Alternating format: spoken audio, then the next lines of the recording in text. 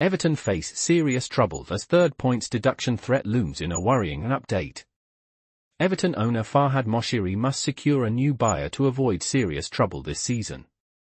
The financial situation at Goodison Park is uncertain after the Dan Friedkin takeover collapse. The threat of a third points deduction looms due to unresolved £17 million interest payments. John Textor has emerged as a potential buyer. Please subscribe to my channel.